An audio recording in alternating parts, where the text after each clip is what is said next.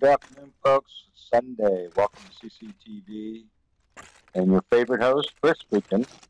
Okay, guys, we're just jumping right into it. This is Douglas's footage.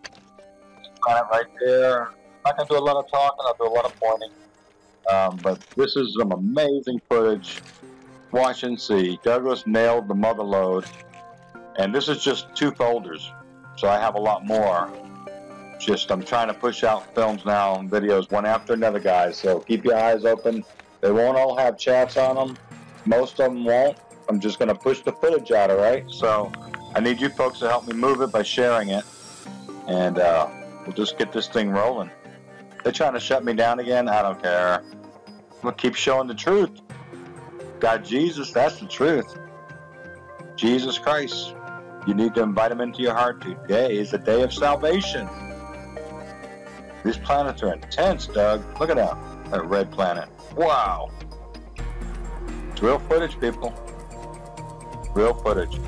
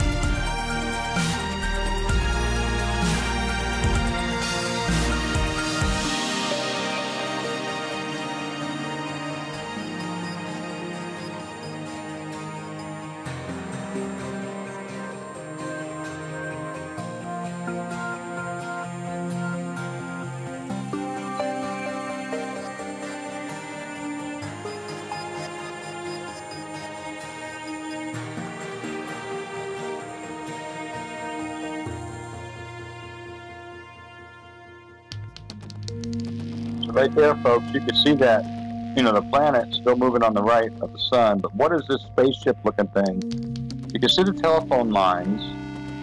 Um, you can see the planet up there, still kind of silhouette. But look on the bottom over there of the sun.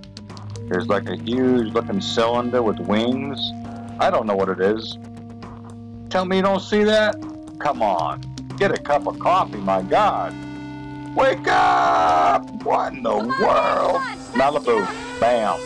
What's that? Right? Right? But I'm trying to tell you, a fork and a hammer. That'll wake them up.